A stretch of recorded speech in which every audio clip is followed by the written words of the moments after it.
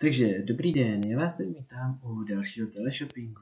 Dneska si představíme takovou dobrou věcičku, jmenuje se to eh, Camembert, neboli lidově hermelín. Eh, vážně si myslím, že to je úžasná věc. Co si o tom myslíš ty, Horste? Také si to myslím.